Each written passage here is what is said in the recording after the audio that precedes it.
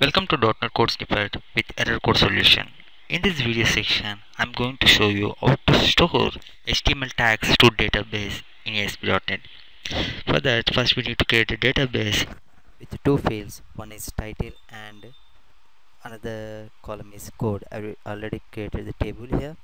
Now let me design for this project. Here, I already designed the content that exactly look like this. For that we need to write the code to insert the data whatever the html tags we enter here the data will be stored into database. For that we need to write a code. Uh, to speed up things here i already written the sql query. Just simply copy and paste here in button click event uh, save it and run the code.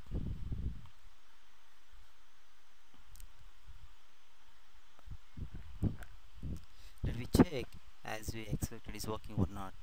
Yeah, I have to give this testing code.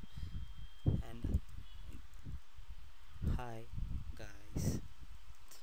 When I click post button the whatever the code the content that will be stored into database here when I refresh that is empty when I click post button this normal generally error will get how to resolve this let me let me show you. Go to the code uh, web design page source code. In top of the page directory you have to paste one validation request here. Make it is false. Save it and come and refresh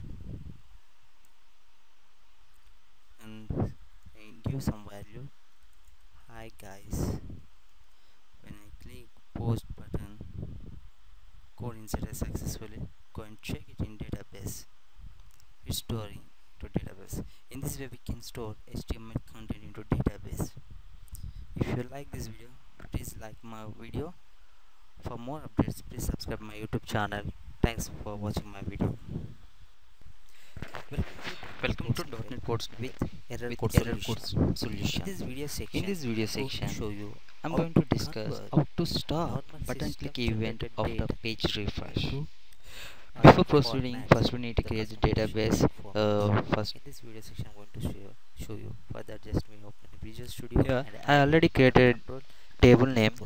called as table, in let name click button and columns of the first name, last date and format will be displaying through this that table. we need to- we need For to that create the design. I already designed the form here I created table and also name first name and last name and button event and below there is a system dot Datetime there is a label I place